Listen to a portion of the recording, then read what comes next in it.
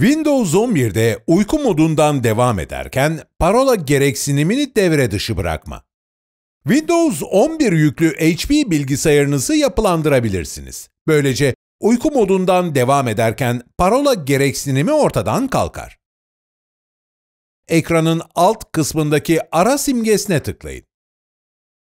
Ayarlar öğesine aratın ve açın. Sol bölmede hesaplara tıklayın. Oturum açma seçeneklerine tıklayın. Aşağı doğru kaydırın.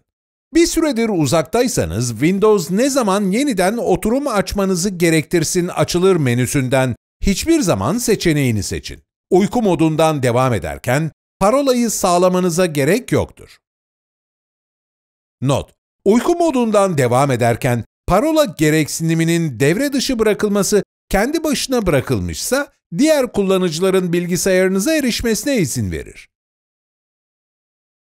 Diğer dillerdeki HP videolarını bulmak için YouTube'daki oynatma listeleri sekmesine tıklayın ve resmi HP support videolarını bulmak için kanalımızda arama yapın.